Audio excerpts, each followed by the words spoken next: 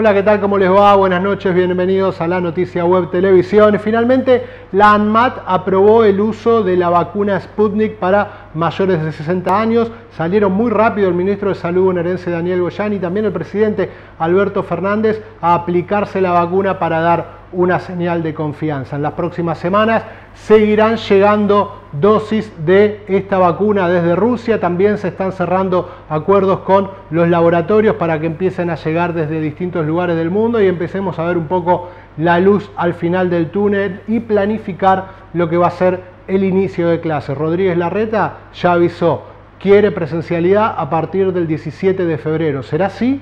¿Lo van a dejar los gremios?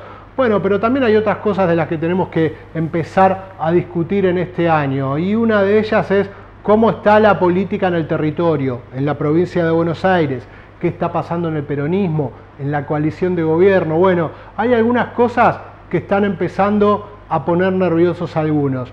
Primero que lo vean al ministro de Economía, Martín Guzmán, dando vuelta por la provincia de Buenos Aires, participando de actividades que se parecen mucho a actividades de campaña. Es uno de los funcionarios que mejor mide en el gobierno nacional.